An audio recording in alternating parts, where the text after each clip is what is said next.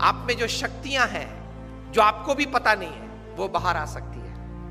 कहीं कहीं लोगों में कई प्रकार की एनर्जीज हैं एक्स्ट्रॉर्डिनरी एनर्जीज हैं। हमें लगता है कि यार, ये तो हीरो है, ये तो सुपर हीरो है, लेकिन वही एनर्जीज आप में भी है। उसने वो एनर्जीज बाहर निकाली और आप बाहर नहीं निकाल रहे हो। 1983 का वर्ल्ड कप आप में से किसी ने देखा था? कपिल देव भारत के लिए वर्ल्ड कप लेके आए थे। First time India won a major international tournament बड़ी खुशी थी पूरे देश में। हम लोग I was in standard ninth at that time तो मुझे अभी भी पता है कि हम कितने ज़ोर शोर से ये खुशी मना रहे थे। सब बच्चे youngsters teenagers was a fever in India and actually it became a more fever in India after Kapil Dev won the World Cup for अभी भी वो दृश्य याद है लॉर्ड्स की गैलरी में कपिल देव लेके खड़े थे। मुंबई में सम्मान हुआ, दिल्ली में सम्मान हुआ बीसीसीआई ने बड़ा सम्मान किया। लेकिन जो हारने वाली टीम थी वेस्ट इंडीज उनको लगा कि साला ये बंदर है, वो सी को सोता था सी तो झाड़ पे से नीचे उतर के एक चाटा मार के वापस ऊपर चढ़ गया। West Indies was a very powerful team 1975 की वर्ल्ड कप उन्होंने जीती थी। 1979 की वर्ल्ड कप भी उन्होंने जीती थी। और 83 की वर्ल्ड कप फाइनल में भी आ गए थे। और भारत तो उनके लिए मच्छर था, ऐसे ही क्रश कर डालेंगे। उनका एटीट्यूड बन गया था ओवर कॉन्फिडेंस का। और वेस्ट इंडीज की ये पावरफुल टीम उन लोग ये लोग बैलेंस करते थे। क्लाइव लॉर्ड जो कैप्टन थे, जिन्होंने 20 साल तक क्रिकेट जगत पे राज किया, ये मानते थे कि कोई ऑलराउंडर की ज़रूरत ही नहीं है। छह बैट्समैन चार बॉलर और एक विकेट कीपर छह में से एक भी बैट्समैन को गेंद डालना आना नहीं था, आता नहीं था। और चार में से एक भी बॉलर को बैट्समैन बैटिंग करना आता नहीं था। Specialise in your department that was his strategy his thinking but with that he ruled the cricket world for 20 years हम लोग जानते हैं। तो 1983 के वर्ल्ड कप फाइनल में भी आ गए। इंडिया को 183 में ऑल आउट कर दिया। विव रिचर्ड्स ने 13 बॉल में आठ चौके मारे। रॉजर बिन्नी कपिल देव और शिवलाल यादव को मिला के। In 13 balls hit 8 to the fence बहुत पावरफुल बैट्समैन थे विव रिचर्ड्स तो हम लोग सबको तो लगा कि अब तो पूरा हो गया। यही पूरा कर देगा अभी पाँच दस ओवर में। लेकिन एक मिस्क्यूट शॉट उन्होंने मारा। और कपिल देव छान लगा के दौड़े थे। अगर जिसने देखा होगा, अभी भी मैं जब बात कर रहा हूँ तो I can see the video in front of me वहाँ से अगर कैच ऊपर आता है तो कैच बॉल देखते देखते अगर पीछे पड़ना तो पीछे दौड़ता है ना फील्डर गेंद को कैच करने के लिए। कपिल देव को लगा कि मैं पीछे दौड़ूँगा तो शायद पहुँच नहीं पाऊँगा, इसलिए घूम गए। बॉल पीछे से आ रहा था और इस, ऐसा दौड़ते which is very difficult very difficult and that catch made the difference 139 West Indies got all out India won the world cup so West Indies को तो बहुत अपमान लगा कि ये चूहे सब 11 इकट्ठे होके और सी को हरा गए। Immediately the West Indies cricket board contacted BCCI for a full series six test and six one day internationals and they came to India with their all powerful team उसके पहले तो बी टीम आती थी। भारत में कभी Clive Lord weave Richards आए ही नहीं थे उसके पहले खेलने के लिए। ऑलविन चाल कालीचरण और वे सब आते थे खेलने के लिए। बी टीम क्लाइव लॉयड अपनी पूरी माइट के साथ आ गए आ गए। और सिक्स वनडे इंटरनेशनल्स भारत को बहुत बुरी तरह से हराया कहीं कहीं वनडे इंटरनेशनल्स तो डेढ़ सौ डेढ़ सौ रन से हराया बहुत क्रिटिसिज्म न्यूज़पेपर्स में आई कि अभी डेढ़ महीने पहले जो वर्ल्ड चैंपियंस बने, उनकी ये हालत। फिर तो टेस्ट सीरीज़ चालू हुई फ़र्स्ट टेस्ट कानपुर। साढ़े तीन दिन में पूरी हो गई। Innings and 250 run defeat to India और उसमें मेलकम मार्शल ने 12 विकेट ली 20 में से 12 उसमें से 8 clean bowled and not a single person could hit a boundary to Malcolm Marshall. उस वक्त वे बहुत डेंजरस बॉलर थे. Use to bowl first bowler to cross 90 miles per hour में मेलकम मार्शल थे. और जब वे right arm round the wicket डालते थे, तब वो अंपायर के पीछे ही दौड़ते थे. रनअप चालू करते अंपायर के पीछे दौड़, ताकि बैट्समैन को देखना पड़ता था कि कहाँ तक वो पहुँचा बॉलर बैट में हाथ करके देखना पड़ता कि वो पहुँचा कहाँ था। एकदम अंपायर के पीछे से बाहर निकल के मेलकम मार्शल गेंद डालते थे used to bowl slanting deliveries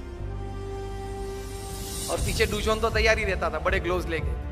Caught Dujon bowl Marshall caught Dujon bowl Marshall, चालू ही रहता था। एक आता था, एक जाता था। किसी को भी गलती से भी कट नहीं लगी कि स्लीप के ऊपर से गेंद चली जाए और थर्ड मैन पे एक बाउंड्री मिल जाए। ऐसा भी नहीं हुआ था।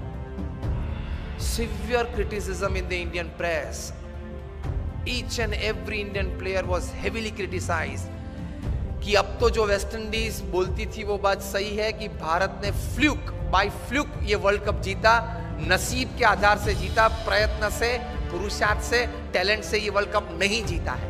वो बात तैयार हो गई। इंडियन प्लेयर्स का काउंसलिंग चालू हुआ मॉरल बूस्टिंग चालू हुआ पंपिंग चालू हुआ। एटीट्यूड्स बदलना चालू किया। उसमें सबसे पहली बारी आई ओपनिंग बैट्समैन सुनील गवास्कर उनका एटीट्यूड बदला कि you have a defensive attitude you have to change your attitude from defence to attack if Malcolm Marshall is a great bowler, you are a great batsman. If he can bowl so well, you can bat so well. Gavaskar का attitude change किया। Because you start the Indian innings you are the opening bat आप जिस प्रकार से खेलेंगे, उस प्रकार से पूरी टीम खेलेगी। नतीजा पहले से चालू हो जाएगा। And Gavaskar said what he was counselled change your attitude from defence to attack Gavaskar defensive batsman थे। वे टेस्ट बैट्समैन थे, वनडे इंटरनेशनल के नहीं थे। सचिन तेंदुलकर टेस्ट और इंटरनेशनल दोनों के थे 2020 के नहीं थे। क्रिस गेल है वो 2020 और इंटरनेशनल के है। टेस्ट के नहीं है। अलग अलग रहता है। सुनील गवास्कर को बताया गया कि change your attitude you will get success और आप जो बैट डिफेंस करते हो, वो जरा stroke create a stroke on every ball Marshall is a master bowler you are a master batsman the little master उनके लिए पहले नाम था। The moment Gavaskar change is attitude his batting changed results changed overall outcome changed और छह में से हम लोग तीन टेस्ट मैच तो फिर भी हारे, लेकिन तीन टेस्ट मैच बचा सके। वो गवास्कर का एटीट्यूड अटैकिंग हुआ इसलिए। दूसरी टेस्ट थी फिरोज शाह कोटला पे दिल्ली में। West Indies won the toss and send India in to bat और सब बुकीज ने तो ये सोच रखा था कि सात सात या आठ विकेट गिर जाएगी लंच के पहले, डेढ़ सौ में। गवास्कर का एटीट्यूड बदल दिया था। उन्होंने भी बदला था। क्या? From defence to attack Gavaskar attacked Marshall from day one from ball one और पहले ही ओवर में गवास्कर ने चार चौके मारे। मार्शल अपनी वेस्ट पे हाथ लगा के बीच के बीच खड़े रहे और गवास्कर के सामने देख रहे years later marshall would write in his autobiography that from firoz shah kotla's innings i could see a change in gavaskar's attitude and that change in attitude brought out the attacking nature in his batting and that changed the overall result outcome of the series और गवास्कर ने lunch के पहले century बनाई। 107 not out. और final six test में चेन्नई पे, चपॉक पे 236 not out in the fourth innings of the test to save test for India दो दिन खेले 236 बनाने के लिए, लेकिन बचा दी टेस्ट वो लिखते हैं इस पुस्तक में कि भारत में से अगर ताजमहल चोर के ले जाना है ना तो लेकर सकते हैं। लेकिन गवास्कर का जो स्ट्रेट बेट डिफेंस है, उसको तोड़ना बहुत डिफ़िकल्ट है। तो एटीट्यूड ये रहना चाहिए। अगर एटीट्यूड सही नहीं रहा तो कितनी भी अच्छी व्यवस्था हो, कितना भी अच्छा मार्गदर्शन हो, फिर भी आप रिज़ल्ट प्रोड्यूस नहीं कर पाओगे। दुनिया भर के ट्रांसपोर्ट मिनिस्टर्स की एक मीटिंग थी लंदन में। ट्रैफ़िक रूल्स एंड रेगुलेशंस की चर्चा करनी थी। इंटरनेशनल स्टैंडर्डाइजेशन कुछ रूल्स एंड रेगुलेशंस का करना था।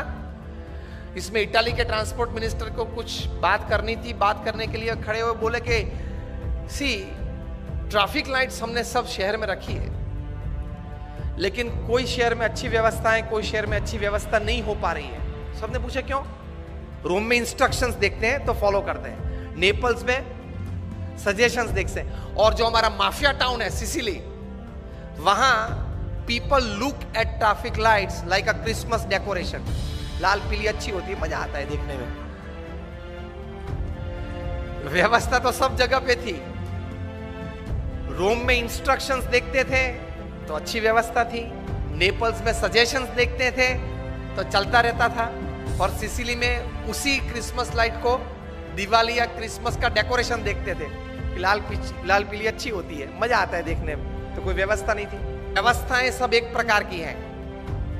रिसोर्सेज सब एक प्रकार के लेकिन नतीजा रिजल्ट्स पीपल के एटीट्यूड से आते हैं। इतनी ताकत है एटीट्यूड में। व्यवस्थाएँ तो थी, लेकिन परिणाम मिलते हैं या नहीं मिलते हैं एटीट्यूड्स पे डिपेंड करते हैं। तो एटीट्यूड्स में ये ताकत है।